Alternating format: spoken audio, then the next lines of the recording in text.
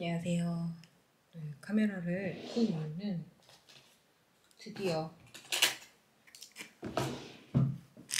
마이크가 왔습니다.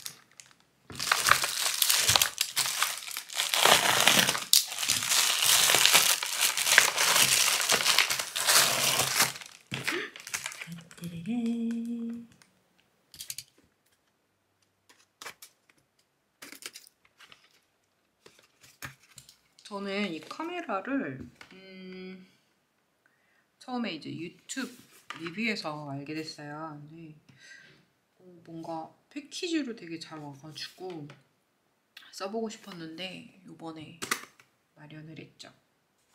열어볼게요.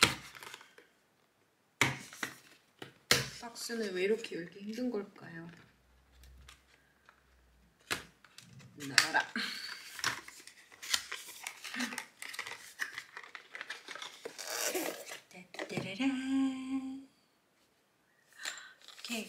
케이스에 다 들어가서 오더라고요. 야, 뭐 설명서 인 것 같아요. 유저 매뉴얼이라고 써 있는데 그냥 두고 박스를 열어볼까요? 약간 박스에서 오는 먼지가 있긴 한데 그 정도 쯤이야. 저는 이게 제일 마음에 들었어요. 이렇게 네, 보시면 아시겠지만 여러 가지 부품이 오거든요. 근데 그게 케이스랑 함께 오는 게 되게 마음에 들었어요. 저는. 떼떼레라. 그래서 지금 이게 보이는 게 마이크고 어 얘는 폼 뭐라 그러나요? 얘를 어 윈스크린 그 다음에 얘는 마운팅 하는 거고요. 그 다음에 데드캣 여기 안에 들어가 있네요. 그리고 들어가는 게 이것도 되게 마음에 들었어요. 이제 어, 카메라에 연결하는 잭 그리고 이 회색은 핸드폰에 연결하는 잭이에요. 보시면 색깔이 다르죠. 물론 저처럼 아이폰을 쓰시는 분들은 안 맞기 때문에 결국에는 동글이 필요하긴 하지만 그래도 음, 이걸 연결해서 핸드폰이랑 뭐 틱톡이나 유튜브 같은 거 찍으실 때 충분히 쓸 수 있다는 거 그리고 진짜 너무 마음에 들었던 건 이 모든 게 다 이 컴팩트 가방 안에 들어간다는 거예요. 자, 그러면 조립 한번 해볼게요.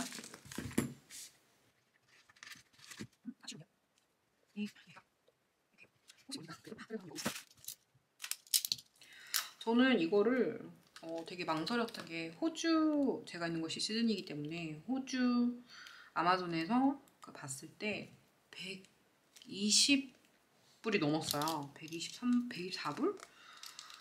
그 정도여갖고 항상 세일하기를 기다리고 있었는데 혹시나 해가지고 이제 유튜브 채널을도 보다가 어, 미국 아마존에 US 아마존에 들어가서 가격으로 확인했는데 39불인 거예요. 그래서 어라? 어라 해가지고 환율을 따져봤더니 3, US 달러 39불에 가격을 샀을 때 쇼핑이랑 이제 오스트레일리안 그 텍스가 있거든요.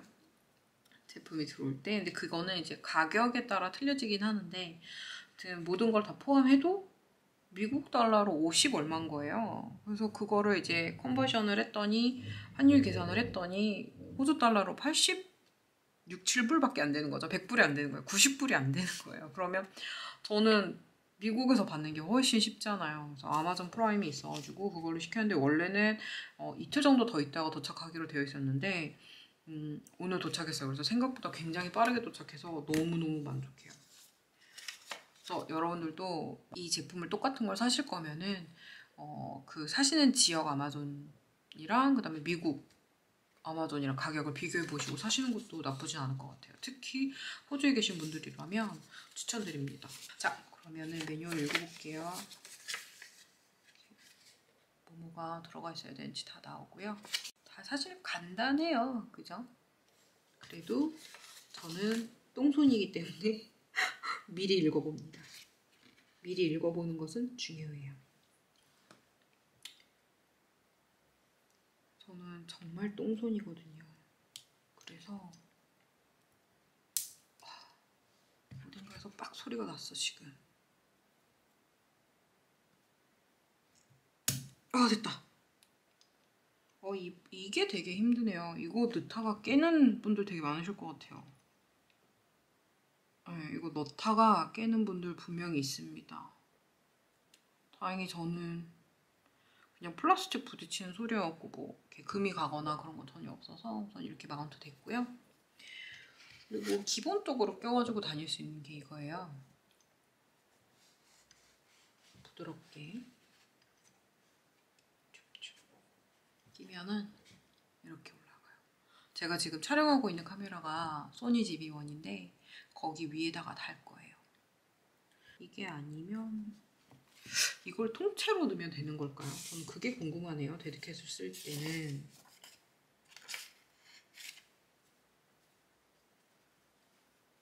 아, 이 안에 또 있어요. 그러면 얘를 벗겨놓고 이제 야외에서 촬영을 한다거나 할 때는 이렇게 끼우면 되는 것 같아요. 너무 귀엽죠? wind muff인데 보통 이제 dead cat이라고 부르거든요. 근데 너무 잔인한 이름인 것 같아 그거.